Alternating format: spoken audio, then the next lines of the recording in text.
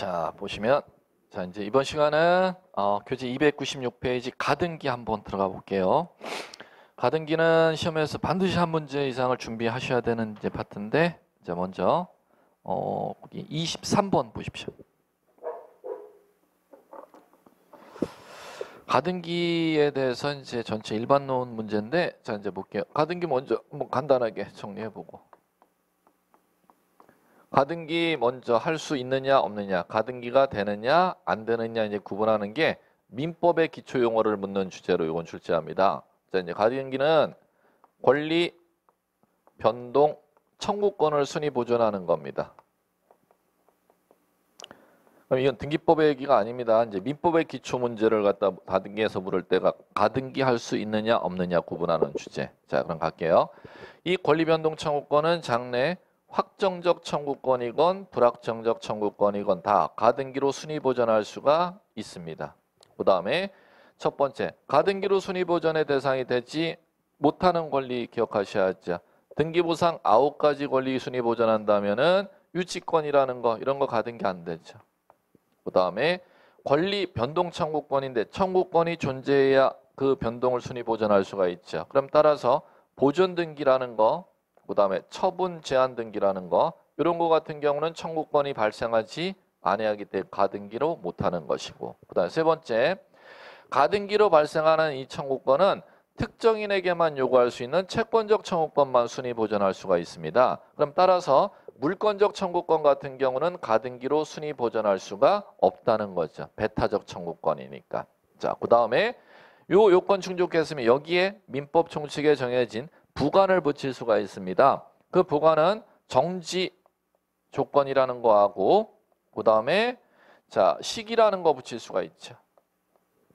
그럼 따라서 해제 조건은 조건 성취가 되면은 해제 조건 같은 경우는 권리 변동 청구권이 발생하는 게 아니라 소멸하는 거니까 당연히 해제 조건이라는 거 붙일 수가 없도록 돼 있는 건 가장 기초적인 얘기들이고 이런 게 이제 가등기에서 무조건 좀 쉽게 나왔으면 좋겠다 하면 민법 이 기초 주제로 출제되는 게 이런 것들이니까 이런 민법 기초 주제 좀 준비해 두시기 바라고. 이건 뭐 반드시 준비가 돼야 시험의 전제 요건이다 생각하시고 이쪽은 보셔야 될 거고 이쪽 얘기는. 이제 등기법 얘기 쪽으로 이제 나면은 이쪽으로 갑니다. 가등기 요건 충족하면은 자 이제 여기와 관련해서 요 가등기 요건과 관련한 등기 예규, 예규들 가등기는 권리변동 청구권이니까 그 청구권은 이중으로 청구권 설정할 수가 있습니다. 그럼 이중 가등기, 중복 가등기 가능하다는 거죠. 자, 그 다음에 가등기로 그 순위 보전한 그 청구권 양도가 가능합니다. 그럼 가등기에 대해서도 타인에게 이전시켜 주는 거, 가등기에 대해서 처분 제한 거는 거, 이거 다 가능하죠. 가등기를 목적으로 이전하거나 처분 제한할 때는 다 뭐로 하도록 돼? 부기로 하도록 돼 있죠. 단 여러분들 꼭 기억하셔야 될 거. 처분 제한 중에 안 되는 처분 제한 하나 여러분들 자주 보셨을 겁니다. 본등기 금지 가처분은 절대 안 돼. 자, 그 다음에 자, 이 요건 충족하면 이제 요건과 관련된 게 이제 민법의 기초 지식 물어보는 가등기에서 가장 쉽게 나올 경우 이제 출제하는 주제들이 이제 이런 주제들이고 이제 본격적인 이제 주제로 시험 문제 출제하면은 자 이제 가등기 신청으로 가죠. 신청하면은 공동 신청 의무자와 권리자가 공동 신청인데 의무자와 권리자가 공동 신청하지 아니하고 단독으로 신청할 수 있는 사유 두 가지만 꼭 기억해 두시면 되잖아요. 단독 신청할 수 있는 사유 첫 번째 의무자의 승낙서 첨부한 경우 단독 신청. 두 번째, 가등기 가처분 명령 정본을 첨부해서 단독 신청. 뭐 시험에 반드시 뭐 출제하는 시문. 자, 그다음에 신청할 때 첨부 정보는 뭐 여러분들 따로 크게 신경 쓸 필요는 없습니다. 자, 그다음에 어, 요 신청이 들어가면은 가등기에서 자, 이제 가등기 자체 하면 가등기 효력 하셔야죠.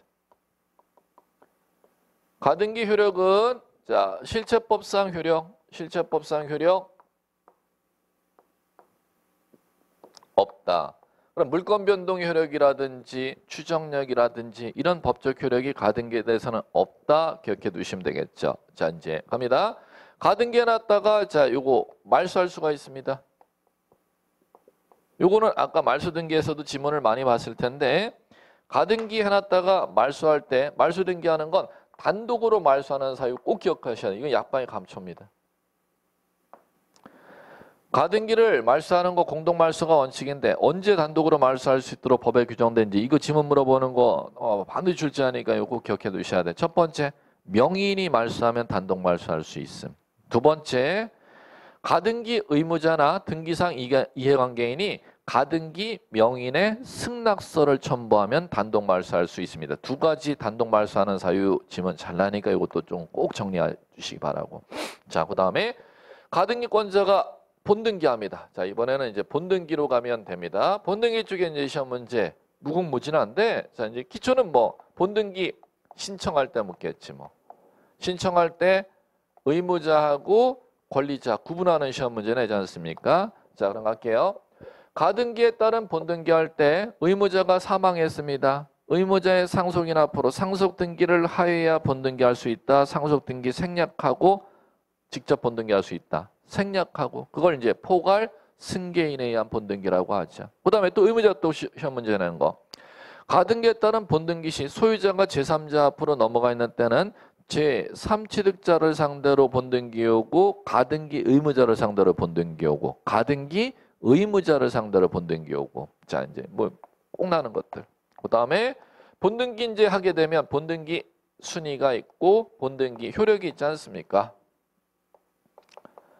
자 순위는 가등기 순위에 의하니까 순위가 소급된다라는 용어를 사용하죠. 그럼 효력은 물건 변동이 일어나는 겁니다. 가등기 자체로만으로서 물건 변동 효력 없잖아요. 그럼 본등기 하면 물건 변동 효력을 일으키는데 물건 변동 효력은 가등기 한 때로 소급한다, 소급하지 아니한다. 소급하지 아니하고 본등기 때 물건 변동 효력 일으킵니다. 그럼 따라서 가등기에 따른 본등기 하면 순위가 소급하기 때문에 양립할 수 양립할 수 없는 등기가 생겨버립니다. 그럼 이 양립할 수 없는 등기를 갖다가 누가 말소하도록 돼 있냐? 등기관이 직권 말소. 그럼 당연히 또 이걸 사례로 낼 테지. 양립할 수 없는 등기라면 직권 말소하는데 반대로 얘기한다면 양립할 수 있는 등기라면 직권 말소 못하게 된단 말입니다. 그러면 가등기에 따른 본등기 시 양립할 수 없어서 직권 말소하는 것과 양립할 수 있기 때문에 직권 말소 못하는 것 변별력 문제를 갖다 여러분들한테. 가등기는 시작서부터 끝까지가 모든 주제가 다 시험 문제이기 때문에 한 문제 이상을 반드시 출제하는 이유가 이런 이유 때문입니다. 자 이제 하나씩. 자 이제 대입해 나가기. 23번 이렇게 나오면 이제 껌이라는 거죠. 가등기 안에서도 이제 가장 기초적인 주제로 내기 때문에 이제 당연히 27회 같이 이렇게 내면은 껌 같은 주제로 가등기를 맞추시면 될 겁니다. 자, 갑니다. 가등기 옳은 거. 1번. 정지 조건 붙었다.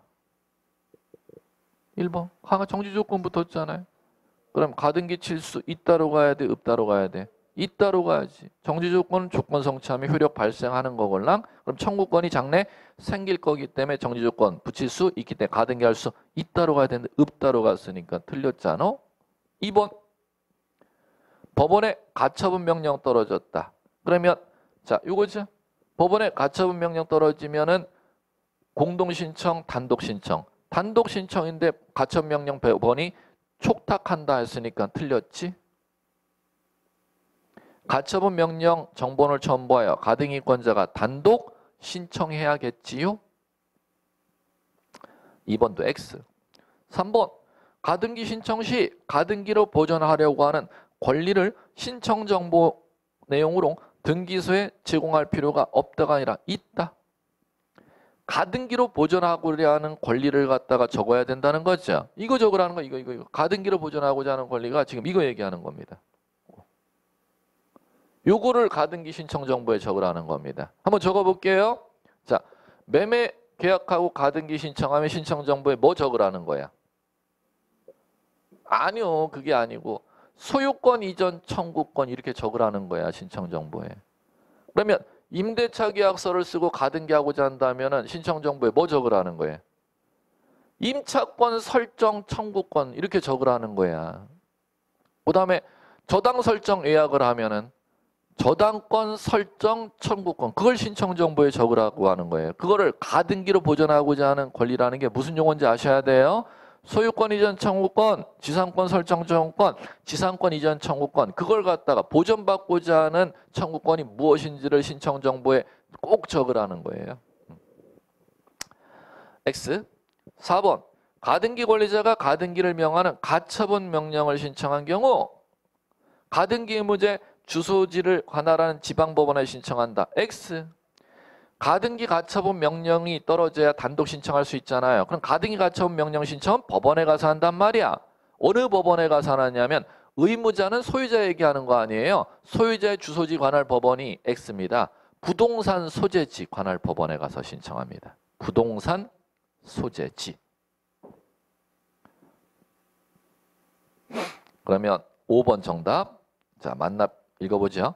가등기에 관해 등기상 이해관계 있는 자가 등기상 이해관계 오타다. 이는이 아니라 쌍시옷 붙여야겠다. 등기상 이해관계 있는 자. 밑줄 치셔야죠. 가등기 명인의 승낙을 받아 뒤에 단독 나왔다. 그리고 가등기 말소 키워드 나왔다. 자, 그럼 요거 요거 가등기 말소 단독 말소 사유 두 가지 신문에 반드시 물어본다 그랬습니다. 요첫 번째 정리요. 다시 한번 누가 말소하면 단독 말소? 가등기 명의인이 말소하면 단독 말소. 두 번째 등기상 이해관계인이나 가등기 의무자가 누구의 승낙을 받아 가등기 명인의 승낙을 받아 단독 말소할 수 있음. 5번 정답. 자, 그 다음에 24번. 네, 이거 해보지. 가등기 옳은 거 이번엔 동그라미 기억 가등기 의거 본등기 하면 나왔습니다. 본등기 순위는 어 나왔네. 밑줄은 이거요. 본등기 순위를 물을지 효력을 물을지를 준비하셔야죠. 순위는 뭐 한다 그랬다? 소급. 그러면 소급이라는 단어는 법률 용어로 가등기 순위에 의한다. 이렇게 돼야 된다는 거예요. 오케이. 기억. 오. 니은 가등기는 권리의 설정 이전 변경 소멸 청구권 보존하려고 할 때 할 수 있으나 그 청구권이 장래 확정될 것인 때는 허용되지 않는다. X. 이 기초용어 묻네. 권리 변동 청구권이 장래 불확정적 청구권이건 확정 청구권이건 묻지 아니하고 가등기로 수중이 보존할 수 있다는데 확정 청구권은 순위 보존 못해 했으니까 니은 X 디귿 가등기 후 가등기권자가 사망한 경우 가등기권자의 상속인은 상속등기 생략하고 의무자와 공동으로 본등기 직접 신청할 수 있다. 오 하셔야죠. 요것을 갖다가 뭐라 부른다? 포괄 승계인에 의한 본등기 신청. 포괄 승계인에 의한 본등기 신청.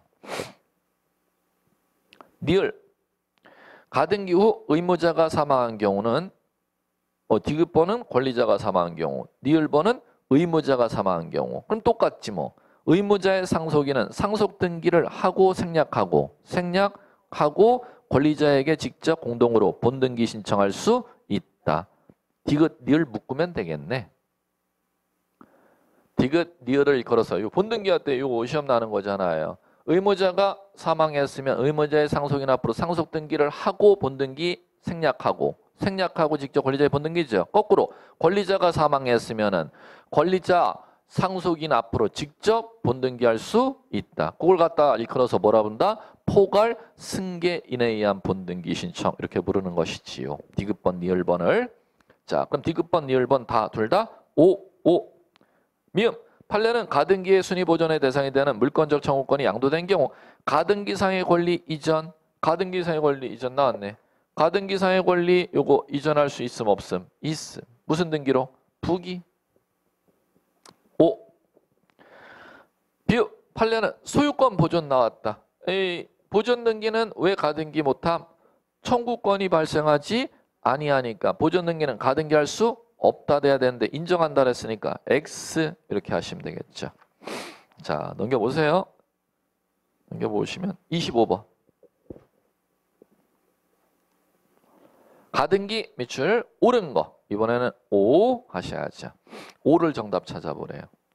자, 1. 가등기를 명하는 법원의 가처분 명령이 있을 때 법원의 촉탁 나왔다. 끝났죠? 가등기 가처분 명령 앞에 밑줄이죠. 가등기 가처분 명령이 있으면은 가처분 명령 서 들고 단독으로 가등기 권자가 신청해야 가등기할 수 있지. 가처분 명령 내린 법원에서 촉탁해 주지를 않습니다. 1번 X. 2번 소유권 이전 등기 청구권 보존 가등기에 의한 소유권 이전 본등기한 경우 가등기 후 본등기 전 맞춰진 해당 가등기상의 권리를 목적으로 하는 가압류가 가로 돼야죠. 해당 가등기상의 권리를 목적으로 하는 가압류. 자, 이거 묻는 거죠? 지금 2번 질문은. 그거 본등기와 양립할 수 없는 등기면 직권말소. 본등기와 양립할 수 있는 등기라면은 직권말소할 수 없음으로 가는 거죠. 그럼 여러분들 제가 가로치라 했던 해당 가등기를 목적으로 하는 가압류 등기는 본등기하면 양립할 수 있는 가압류, 양립할 수 없는 가압류. 양립할 수 있는 가압류잖아. 왜 양립할 수 있는 가압류? 여기 있잖아요. 가등기를 목적으로 하는 처분 제한 등기 할 수 있다 그랬죠? 뭐로 하도록 돼 있어요? 부기 등기로. 그럼 본등기 하면은 그 본등기 순위와 양립할 수 있는 가압류이기 때문에 직권 말소할 수 있다로 가야 돼, 없다로 가야 돼요. 없다로 가야죠. 양립할 수 있는 가압류에 해당하니까. 그런데 뭐라고 했어요? 직권 말소 한 달 했으니까 X. 2번도. 3번. A 확정 또 나왔다. 빨리 확정 찾아야지. 권리변동 청구권은 확정적 청구권, 불확정적 청구권 묻지 아니하고 가등기 순위 보존할 수 있다는데 없다 그랬으니까 3번도 X. 자, 4번 가등기에 관하여 등기상 이해관계인 아이 또 나왔다. 끝에 가등기 말소 밑줄 쳐야지. 또 나오네요. 징그럽게 나오네요. 가등기 단독 말소 두 가지 이제 마무리 해볼게요. 누가 말소하면 단독 말소? 가등기 명의인이 말소하면 단독 말소. 두 번째 등기 의무자나 가등기 의무자나 등기상 이해관계인이 누구의 승낙을 받으면 가등기 명인의 승낙을 받으면 단독 말소할 수 있음. 4번 정답. 5번 왜 틀렸나 확인. 지상권 설정 청구권 가등기 기한 지상권 설정 본등기한 경우 가등기 후 본등기 전에 맞춰진 저당 설정 등기죠? 그러면 고개 들어보세요. 그 저당 설정 등기는 지상권 본등기와 양립할 수 없는 등기라면 직권 말소 저당 설정 등기를 양립할 수 있는 등기라면 직권 말소할 수 없음. 지상권과 저당권은 한 토지에 같이 존재할 수 있음 없음. 있음. 그럼 당연히 양립할 수 있는 등기 없는 등기. 양립할 수 있는 등기니까 직권 말소할 수 없음으로 가야 된다는 것이죠. 5번 X. 자, 됐고요. 자, 그 다음에 27번 볼까요? 쉽게 낸 것도. 단답으로 낸 거.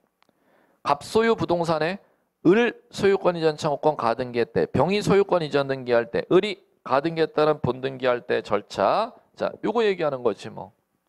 본등기 신청할 때 등기 의무자와 권리자를 변별하는 사례 문제, 기출 문제 제일 쉽게 냈던 패턴의 형태입니다.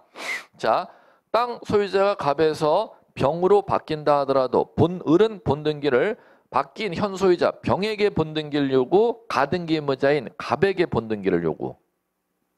갑에게 본등기 요구해야지 현 소유자 병에게 절대 본등기 요구하면 안 돼. 이렇게 해야죠. 자, 그럼 그렇게 하면은 을의 본등기 할 때는 병의 등기는 등기관이 직권 말소한다. 맞죠? 을은 누구를 상대로 본등기 요구하고 갑을 상대로 본등기 요구하노. 그 다음에 병 앞으로 소유권 인전 등기된 거는 뭐에 해당하는 거니까 양립할 수 없는 등기에 해당하니까 누가 말소? 등기관이 직권 말소에 배당이 떨어지는 것이죠. 자, 됐고요. 자, 넘겨보세요. 넘겨보시면 어, 30번도 해보자. 지문이 들어오나 이제 지문이 거의 이제 들어오기 시작할 거예요. 가등기 매출 오른 것만 묶은 거에서 물음표 끝에 O 하셔야죠. 기억. 가등기된 권리 중에 일부 지분 아 나왔어. 나 준비됐어. 자, 지분에 지자 동그라미 쳐야지. 지가유 어 잘하셨어. 지가유 그러면 가등기에 따른 본등기는 지가 유래니까 자기 지분만 본등기, 전원 지분 본등기. 자기 지분만 본등기할 수 있다. 전원 지분 나오면 본등기할 수 없다 이렇게 돼야 된다는 거예요. 그러면 1인이 자기 지분만 본등기 신청할 수 있다 했으니까 문장은 O 이렇게 가셔야죠. 기역 O. 니은 부동산 임차권 변동 청구권 나왔네. 요거죠. 요거 요거 임차권은 권리 변동 그다음에 청구권 one, two, 쓰니까 가등기로 순위 보존할 수 있다. 오.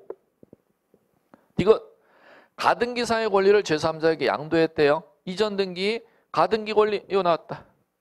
어, 가등기 권리 이전할 수가 있음. 가등기 권리 이전할 때는 뭐로? 부기. 그럼 디귿번 X다. 늘 토지거래허가 구역 대상인 지역에 토지의 소유권 이전 청구권 가등기 신청할 때 토지거래허가서 첨부할 필요 없다. X. 토지거래 허가구역 내는 소유권 지상권에 대해서 외약할 때도 허가 사항입니다. 그러면 토지거래 허가 구역 내 일반 토지 소유권 이전 등기할 때는 소유권 이전할 때 허가를 받도록 돼 있지만 토지거래 허가 구역 내 소유권 이전 등기할 때는 가등기할 때도 허가를 받기 때문에 가등기할 때 허가 받는 거지 나중에 본등기할 때 허가 받는 게 아니라는 것입니다. X 그러면은 5에 해당하는 거 기억, 니은 이렇게 골라내면 돼요. 자 됐고요. 가등기 또 지문 이제 확, 확인사 살청에서 하나 더 해볼까요? 33번. 가등기 밑줄 옳은 거 고른 거니까 물음표 끝에 5 기호 만들어 놓고 다툼이 있으면 판례에 의함 기억. 매매계약 완결권 행사로 소유권 이전 청구권이 장래 확정 나왔다. 확정 나왔다. 이 또 나오네. 또 지금 이 보이 확정 청구권이건 불확정적 청구권 상관없이 가등기 할 수 있다. 긍정문으로 가야 5가 되는 거야. 긍정문을 끝에 할 수 있다 해놨으니까 5 이렇게 이제 자신 있게 이제 지문이 보여야 돼. 니 나왔다. 어, 있잖아요. 청구권은 이 권리 변동 청구권에서 이 청구권은 무슨 청구권만 특정인에게만 요구하는 청구권을 채권적 청구권, 배타적으로 누구에게나 요구할 수 있는 걸 물권적 청구. 가등기는 순위 보존하는 거라면 채권적 청구권만 순위 보존하는 거지 물권적 청구권은 배타적 청구권이기 때문에 순위 보존의 대상이 될 수 없다. 그죠? 그럼 니은 번 X 하셔야지. 물권적 청구권이니까 가등기 할 수 없다. 부정문으로 가야 5가 되는데 있다 그랬으니까 X가 되잖아요. 아 이제 디귿번 이제 징그럽게 보이기 시작할까요? 좀 그만 좀 하지. 계속 이제 똑같은 패턴 가자. 디귿번 눈으로 보시고 나 이제 판단해 보세요.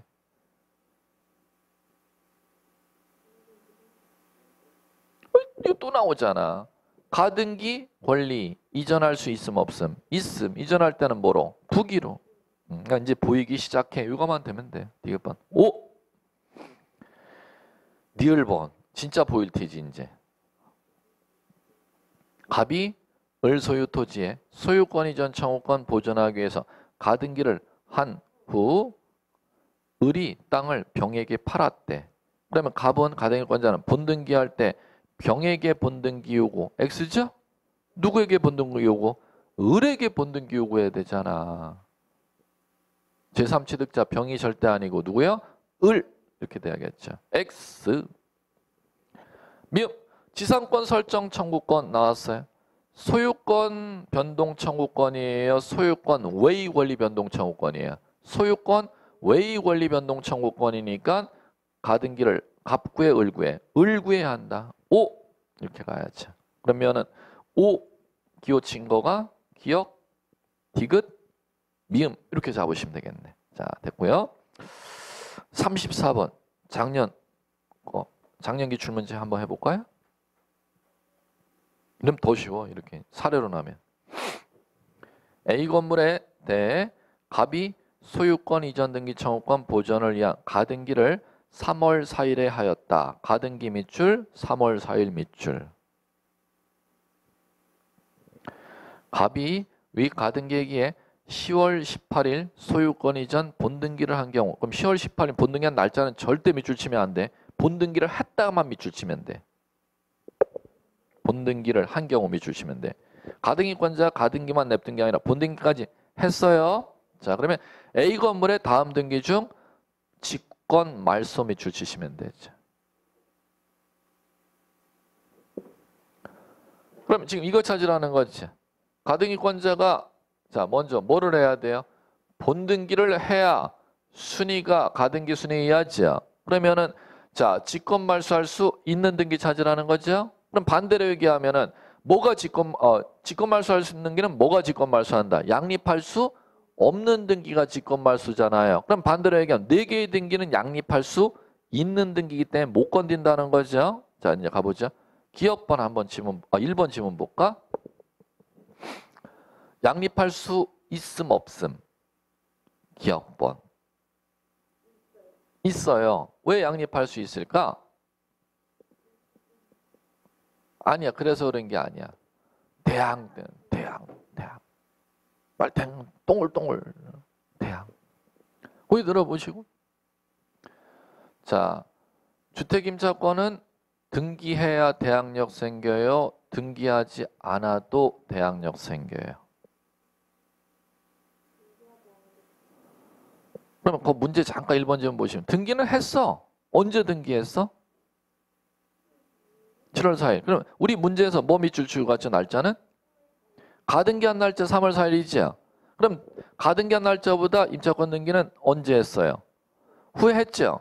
그런데 그 등기를 7월 4일 날 하면 그때서부터 대항력 생겨요. 소급하여 대항력 생겨요. 언제까지 소급할까요? 그걸 알아야지. 3월 4일보다 전까지 소급하면은 이거는 양립할 수 있는 등기이기 때문에 직권 말소 못하는 것이고 3월 4일 이후까지 소급한 3월 4일 이후로 소급된다면은 양립할 수 없는 등기 때문에 직권 말소가 된다는 거야. 자, 그러면 그거를 알려면은 주택임대차 보호법에 주택임차권은 나중에 보증 안 빼줘서 등기를 하면은 7월 4일 등기했다. 그때부터 대항력 생기는 게 아니야. 소급해서 대항력 인정해 주죠? 언제까지로 소급해요?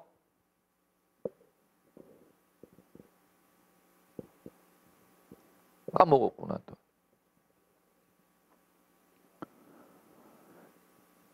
인주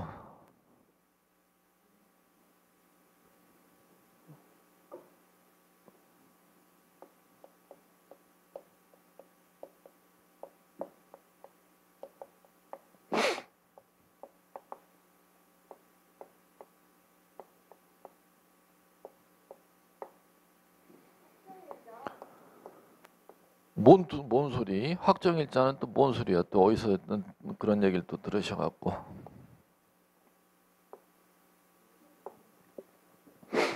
대우 받으라 그랬죠? 대우 받으라 그랬잖아요. 대는 우는요?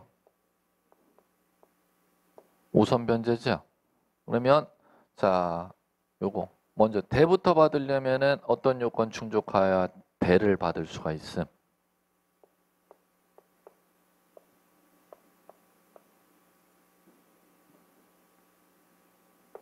주택 인도와 주민등록 전입 신고를 하면은 그 다음 날부터 대항력이 생기잖아.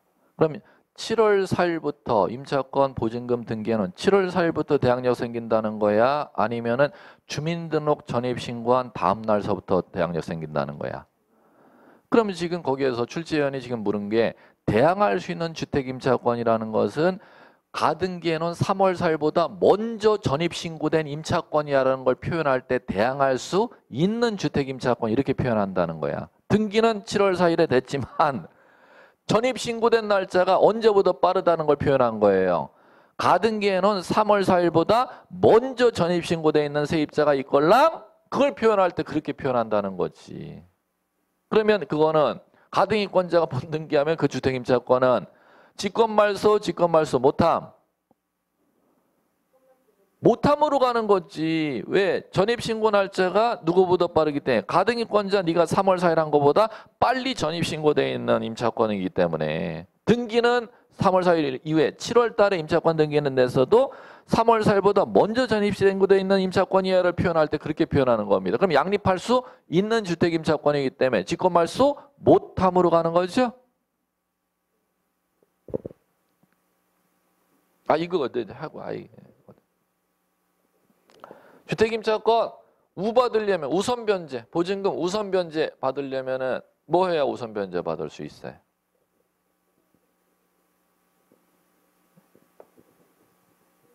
아이 또 엉뚱한 얘기 하네. 이렇게 가야지.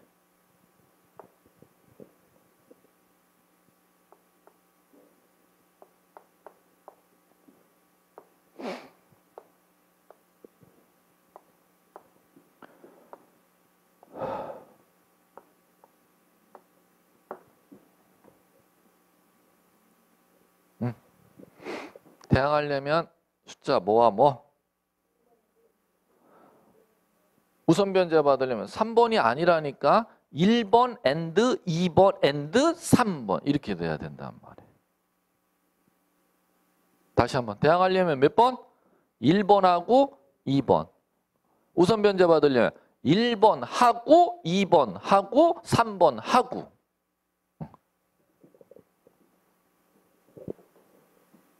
자, 그 다음에 2번 갈게요. 자, 가압류 언제 잡혔나 보세요. 가등기 후에 문제에서 날짜 언제 보세요. 그러면 3월 4일 이후에 가압류예요? 이전 가압류예요? 그 가압류권자가 본안 판결 받아서 경매 7월 1일 들어갔죠. 가등기권자가 본등기하면 그 강제 경매가 멈추게 중단되겠어요? 경매가 계속 진행되겠어요? 경매가 멈추는 게 직권말소고 경매가 계속 진행되는 게 직권 말소하지 못한다예요. 경매 멈추겠습니까? 아니면은 자 계속 진행되겠습니까? 왜 멈춰? 직권 말소하지. 어 경매 멈추죠? 왜 멈추냐면은 가등기권자보다 3월 4일보다 후순위 가압류권자가 강제 경매를 붙였기 때문에 그러면 야 강제 경매가 중단된다는 것이죠. 뭐 하기 때문에 직권 말소해 버리기 때문에 가등기권자 3월 4일보다 선순위 가압류권자가 경매를 붙여버리면 가등기권자 본등기에도 계속 경매가 진행될 텐데 가등기권권자보다 후순위 가압류권자가 경매를 붙인 거기 때문에 그 경매는 중단돼 버린다는 겁니다. 누가? 가등기권자가 소유권 취득을 해버리면 무슨 얘기인지 아시겠어요? 음, 자, 그 다음에 자 3번 가볼게요. 근저당 잡혔어. 언제 잡혔는지 빨리 날짜. 5일. 그럼 위에 문제에서 가등기권자 본등기하면 순위가 언제로 돼요? 3월 4일이 되는 거죠? 그러면 양립할 수 있는 근저당, 양립할 수 없는 근저당. 아니잖아. 2, 5, 1인데 양립할 수 있는 근저당이니까 직권말소하지 못한다로 돼버리는 거죠. 그러면 그 임의 경매는 당연히 계속 경매가 진행된다는 겁니다.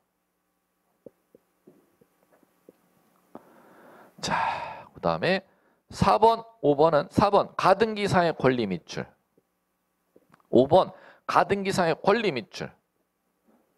그래놓고 그 두 개 묶어갖고 4번 5번 옆에 부기 부기 이렇게 쓰면 되잖아. 부기 부기. 그러면 가등기권자가 본등기에도 4번의 가처분과 5번의 가압류는 가등기에 뭐로 등기가 되어 있기 때문에 부기 등기로 되어 있기 때문에 본등기하는 소유권 취득한 사람이 인수해야 되는 가압류 가처분이기 때문에 직권말소 한다, 직권말소 못한다. 직권말소 못한다로 간다는 겁니다.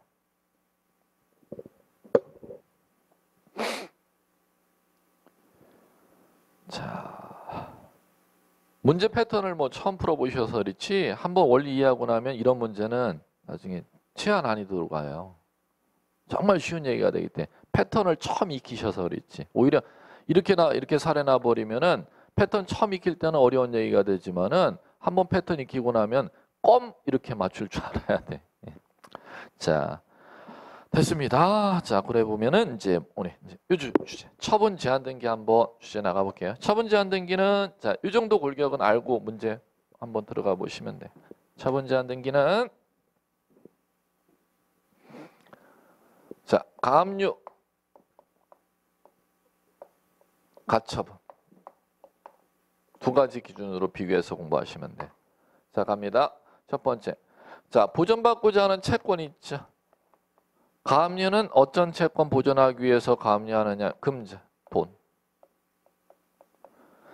자, 그 다음에 부동산에 대해 재산 가진 사람에게 채권자가 가처분을 건다는 건 금전 아니면 금전 외의 채권. 금전 외의 채권. 자, 두 번째. 가압류 걸 수 있는 권리, 가처분 걸 수 있는 권리. 다 가능하죠? 소유권, 소유권 외의 권리 다 가압류 걸 수가 있고 소유권, 소유권 외의 권리 다 가처분 걸 수가 있고. 자, 똑같은데 자, 이제 문제 중요한 게 있어요. 자, 가등기에 대해서도 가압류 가처분 걸 수 있음 없음? 있음. 가등기를 목적으로도 가압류 가처분 둘 다 걸 수 있다 그랬죠. 근데 여기에서 이제 중요한 게 있다 그랬지 않습니까? 예, 이미 했어요. 가등기를 목적으로 처분제한 걸 때는 가등기를 목적으로 가압류는 다 되는데 가등기를 목적으로 가처분을 걸 때 무엇을 막는 가처분은 등기해주지 아니한다. 본등기를 막는 가처분은 등기해주지 아니한다. 그거 하나. 그다음에 마지막 방법. 자, 소유권을 가압류 걸 때는 무슨 등기로? 주등기로. 소유권 외의 권리를 가압류 걸 때는 부기 등기로. 그럼 가처분도 마찬가지 동일한 방법이죠. 주등기, 부기 등기가 뭐를 기준으로 판단하는 겁니까? 소유권을 가압류 가처분 들어가느냐, 소유권 외의 권리를 가압류 가처분 들어가는 거니까 이거는 동일한 원리가 이렇게 가처분에도 그대로 적용, 적용된다는 겁니다. 자, 이제 이 정도 내용 이제 알고 문제 한번 읽어보자. 36번. 등기 옳은 거. 자, 1. 가압류된 등기, 가압류가 등기된 부동산에 소유권 이전 등기 신청할 수 없다. X. 가압류가 걸려도 소유권 이전 등기 신청할 수 있다. 2번. 처분금지 가처분 등기가 된 부동산에 소유권 이전 등기할 수 없다. 에, 똑같은 애. 1번, 2번 똑같은 원리죠. 가압류, 가처분 걸린 부동산 모두 처분할 수 있다. 똑같은 원리입니다. 3번. 가처분 등기는 금액, 금액은 돈이잖아요. 돈을 적어야 돼요? 아니면 돈 외의 채권을 적어야 돼? 돈 외의 채권을 적어야지. 청구 금액을 기록하는 건 가, 가압류 등기할 때 청구 금액을 기록하는 거니까 이것도 X. 그다음에 4번 등기된 임차권 가압류 등기 임차권 가압류의 대상이 되는 권리입니까? 이렇게 읽어보시면 되죠. 임차권 가압류 걸수 있음. 예. 가압류 걸 수 있는 권리, 가처분 걸릴 수 있는 권리 다 가능합니다. 음. 그럼 4번, 5.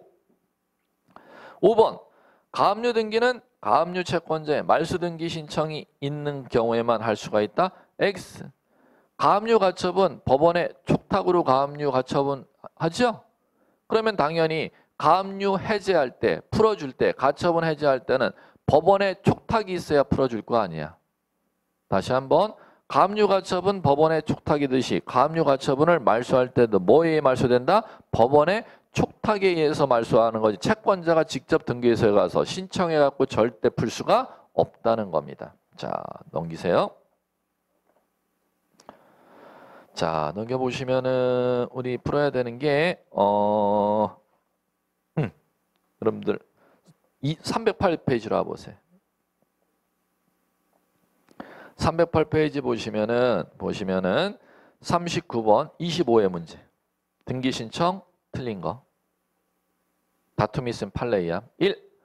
처분금지 가처분 등기 된 후 가처분 채무자가 등기 의무자를 상대로 소유권 이전 등기를 신청하는 경우 가처분 채권자는 가처분 등기 이후 맞춰진 등기 전부의 말소 등기를 단독으로 신청할 수 있다 이렇게 나와 있습니다. 그러면 이것이 이제 틀린 이유는 자 이제 뭐 때문에 틀렸는지 말씀드릴게요. 어려웠던 문제였었는데 자 이제 정답은 요건데 자 이제 볼게요. 요거 가처분권자가 본안 토지 소송에서 이겼을 때를 이제 전제로 하는 법조문의 얘기를 사례로 지금 푸는 거 사례로 시험 문제 출제했던 겁니다. 가볼게요.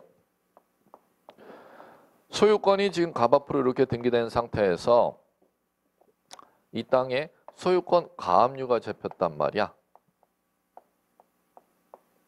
A에게.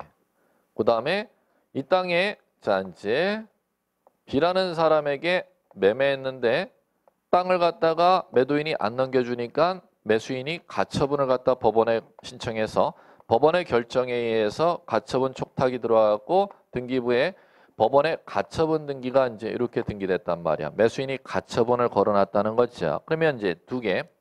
매도 이 갑의 땅에 돈 받으려고 채권자가 가압류 걸어놨고 매수인이 땅 안 넘겨주니까 가처분을 걸어놨어. 그럼 이 상태에서 이제 가는 겁니다. 가처분 걸린 이후에 이 땅이 제3자에게 이렇게 넘어간다는 겁니다. 이렇게 이제 넘어가면은 C 가처분권자가 이제 땅을 갖다가 법원에 안 넘겨주니까 법원에 소송을 제기하는 겁니다. 이건 본안 소송 이렇게 불러요. 그러면 소유권 이전 등기 이행 청구 본안 소송을 제기하면 그에 따른 승소 판결을 받으면 등기소에 판결에 따라 단독으로 등기를 신청할 거란 말입니다. 판결에 따라 지금 B라는 사람이 무슨 등기 신청하는 소유권 이전 등기를 신청하죠. 누구를 상대로? 갑. 가처분 채무자가 지금 갑이지 않습니까? 그럼 갑을 상대로 판결에 따라 지금 무슨 등기 신청한다 그랬어요? 소유권 이전 등기 신청하는 경우 신청하는 경우 가처분 이후 등기된 거 모두 등기관이 직권 말소한다. 지금 이렇게 놨잖아요. 뭐라고 해놨나? 전부를 단독 신청으로 말소할 수 있다 이렇게 놨잖아요. 거기 들어보세요. 자, 요거 소유권 이전 등기 신청하면 가처분 이후 지금 넘어간 게 지금 몇 번 등기예요? 4번 등기 하나죠? 하나 더 해볼게요. 가압류권자도 법원에서 돈 받으려고 땅에 가압류 걸어놨는데 돈을 안 주니까 가압류 안 풀어주고 자, 돈 대여금 반환 청구 소송 법원에 확정 판결 받으면은 집행 권한이라는 게 떨어집니다. 그러면 이 땅 법원에 경매 붙입니다. 그러면 이제 경매를 붙여버리게 되면은 이제 여기에 강제 경매 개시 결정 등기가 됩니다. 자, 그러면은 갈게요. 강제 경매 개시 결정 등기가 되면 가처분권자가 토지 소송에서 이겨갖고 판결받아갖고 매수인이 지금 무슨 등기 신청해? 소유권 이전 등기 신청하면 지금 이렇게 해놓은 거야 1번 지문이. 가처분 이후 가처분권자가 땅 소송에서 이겨갖고 매수인이 소유권 이전 등기를 신청하게 되면은 가처분 이후 4번 소유권 등기하고 5번 강제 경매 개시 결정 등기 요거를 갖다가 모두 전부 누가 B가 말소 신청할 수 있다 지금 이렇게 해놨지 않습니까? 이게 지금 틀리다는 거야. 왜 틀릴까? 그거를 지금 찾아내라는 거야. 왜 틀릴까? 이게 왜 틀릴까를 찾아라. 안 찾아도 돼요. 아유, 뭐 이거 등기관이 하는 일을 여러분들이 굳이 뭐 알 필요도 없는데 법무사도 모르는데 뭐 여러분들이 굳이 알아야 될 필요는 있나? 근데 내는데 어떻게 출제하는 사람이 등기관인데 중개사분들은 무슨 자기 기준으로 시험 문제를 내고 있으니까 등기관도 하급 공무원이 아니라 이제 5급 이상의 고급 공무원들이 이제 들어가 출제를 하는데 자기인지 알고 착각해 이 시험을 근데 출제를 그렇게 하는데 뭐 어떻게 법에도 그 사람 등기관 기준으로 출제를 하라고 이제 법령상 돼 있으니까 어쩔 수 없이 여러분들은 시험 봐야 되는데 X요. 왜 X냐면은 자 갈게요. 4번은 말소 신청을 토지 소송에서 이긴 B가 말소 신청을 할 수가 있는데 5번은 이거 말소 신청을 못해. 왜 말소 신청을 못하는지 보세요. 누가 이거 경매 붙인 거지요? 가압류권자 어디 있지요? 그러지요. 가처분권자가 토지 소송 비해서 이기게 되면 소유권 이전 등기하게 되면은 이 가처분권자가 토지 본안 승소 판결을 받은 사람보다 선순위 가압류권자가 강제 경매를 붙인 거기 때문에 이 경매가 중단이 된다. 계속 진행된다. 계속 진행된다는 거예요. 그럼 그 얘기는 무슨 얘기냐? 나중에 할 때 땅이 가압류 걸려 있으면은 땅 가압류 걸린 땅을 매매해서 매도인이 땅 안 넘겨주죠? 가처분 걸어도 이거 소용이 있다 없다? 없다. 나중에 땅 소송에서 이겨도 이 사람이 맘먹고 본안 판결 받아서 그 다음에 강제 경매 붙여버리면 이 경 이거 땅 소송에 이겨갖고 등기해도 이 경매 계속 진행되기 때문에 땅 뺏기는 수가 생긴다는 겁니다. 그렇기 때문에 실무할 때 이렇게 허위로 가압류 채권을 올리는 이유가 그런 이유 때문입니다. 이 사람들이 뒤에 들어와서 땅 소송에서 이긴다 하더라도 요거에 이 허위에 의해서 확정 판결 받으면 경매를 붙여본 이 경매를 갖다가 땅 소송에서 이긴 자가 멈출 수가 없기 때문에 이렇게 허위로 이제 채권을 올리는 이유가 이런 이유 때문입니다. 나중에 실무상. 음. 그럼 여기서 틀린 이유는 무엇 때문에 틀리다?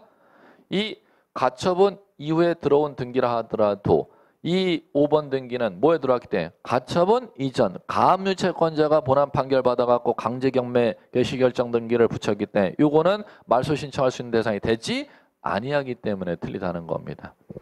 뭐 이렇게 어렵게 내. 뭐 어떻게 해. 이런 건 가볍게 이제 나중에 한번 지금 들어보는 걸 족하고 내가 안 되겠다 싶으면 아이 가볍게 패스. 뭐 다 맞아야 되는 거 아니잖아요. 등기법에 12문제에서 여러분들이 5문제에서 6문제 정도만 맞추면 충분히 합격할 수가 있는데. 음. 자, 됐습니다. 자, 이제 됐고요. 어, 그다음에 해 볼게. 자, 이제 마지막 남아 있는 거 42번. 이런 것들 정도를 맞춰야 돼.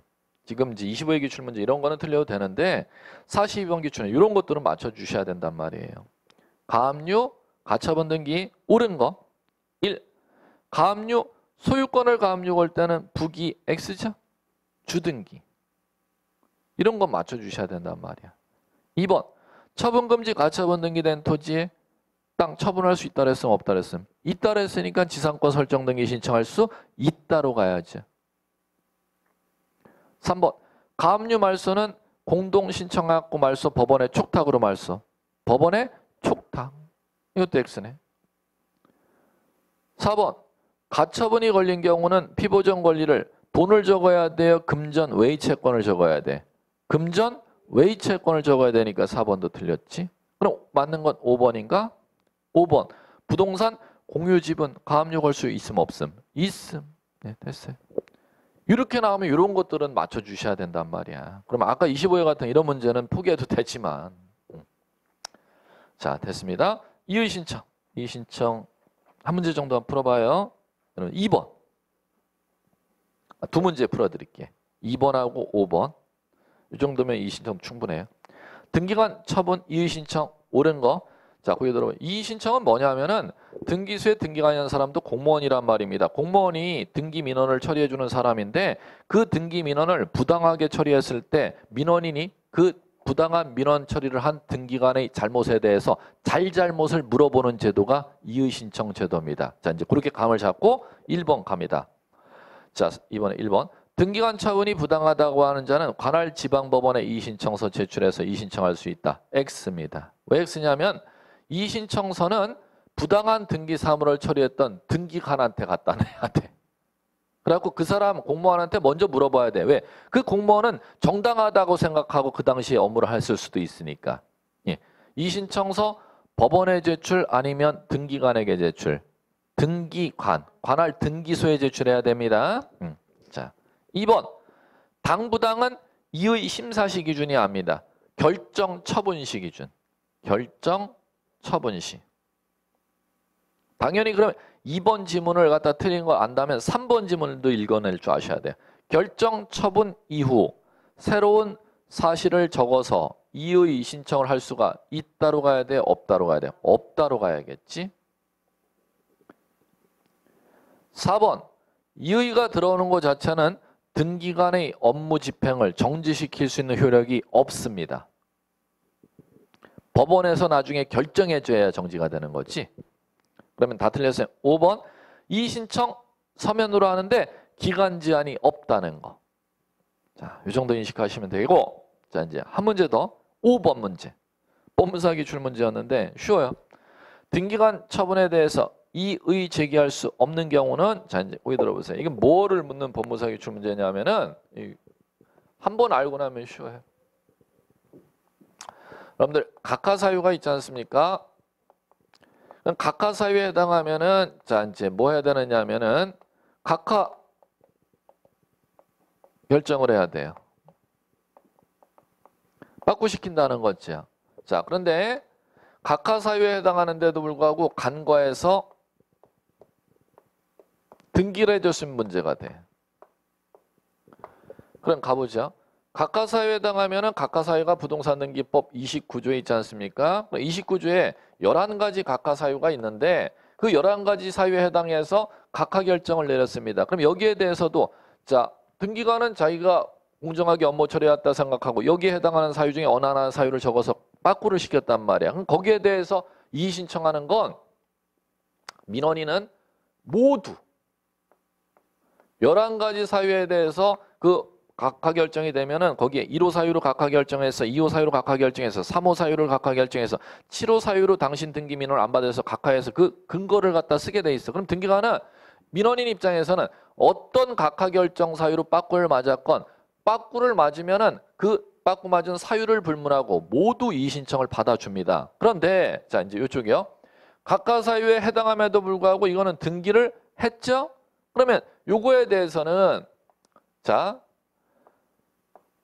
이의 신청할 수 있는 대상이 있고 없는 게 있단 말이야. 그러면 이건 뭐냐면은 자 29조에 1호 각하 사유하고 2호 각하 사유에 해당하는 걸 간과해서 등기했을 때만 이의 삼을 수가 있고 29조 그러면 3호에서 11호 사유에 해당하는 것을 위반해서 등기했을 때는 이의 삼을 수가 있다는 거예요, 없다는 거예요? 없다는 거예요. 그러면 이제 이거 원리를 알면은 법무사 기출 문제는 끔 같은 문제 이게 딱 15초가 안 걸려 이 문제 푸는데 가볼게. 등기관 처분에 대해서 이해할 수 없는 경우 찾아와 보라는 거죠. 1번 끝에 봐요. 끝 들어가 봐요. 등기된 경우 빨리 등기 밑줄. 2번 빠꾸 밑줄 끝에 각하. 3번 끝 들어가서 빠꾸 각하 밑줄. 4번 끝 들어가서 등기 밑줄. 5번 끝 들어가 등기 밑줄. 됐어요? 자, 끝.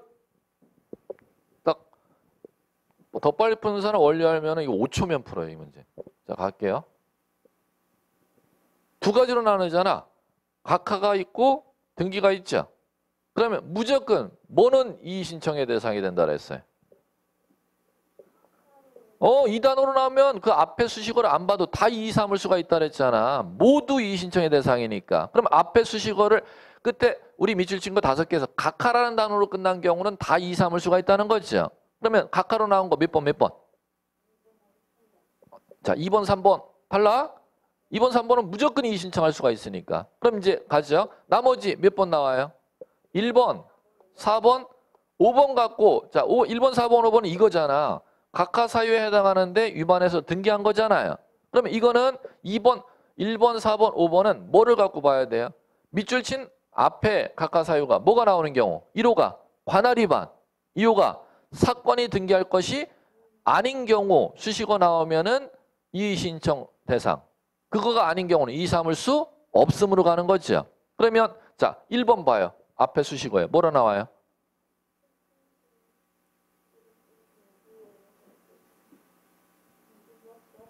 1번 정답. 아, 1번 정답. 일로 가잖아, 지금. 1번은 지금 1호 위반이에요. 2호 위반은 1호, 2호, 2호 위반 사유가 아니야. 아니니까 1번 정답. 그러면 확인. 4번은 가봐요. 4번. 이거잖아, 이거, 이거, 이거, 이거, 이거, 이거. 2호. 그다음 5호, 5번. 1호, 1호잖아, 1호, 1호. 1호. 여기에 해당하니까 예. 여기에 해당하는 거니까 패턴만 자 원리 익히면 이거는 이런 문제는 보무사 문제라도 너무 뭐 쉬운 얘기예요. 여러분 문제를 접해보지 않아서 이제 이게 어려워할 뿐이지. 음. 자 되셨습니다. 고생하셨고요. 어, 나머지 9월, 10월도 마지막 어, 잘 정리하시면서 조금만 어, 하- 신경 쓰시면은 1차 단 1, 2차 같이 공부하시는 분들 1차를 조금 더 신경 쓰셔서 공부하셔야 될 거예요. 비중을 갖다 똑같이 두지 마시고 1차 비중을 5대 1, 2차를 5대 5로 생각한다. 1차 비중을 갖다가 60까지 늘리셔서 공부하셔야지. 1차와 2차를 똑같이 5대 5 비율로 공부해 주시면 안 됩니다. 마지막까지 이건 마찬가지입니다. 2차만 공부하시는 분들은 그건 뭐 상관이 없는데 1, 2차를 병행해서 지금 공부하시는 분들은 그 공부의 비율을 갖다 1차를 끝까지 60%에서 70%까지 비율을 높여서 공부를 꼭 해주시기 바랍니다. 수고하셨습니다.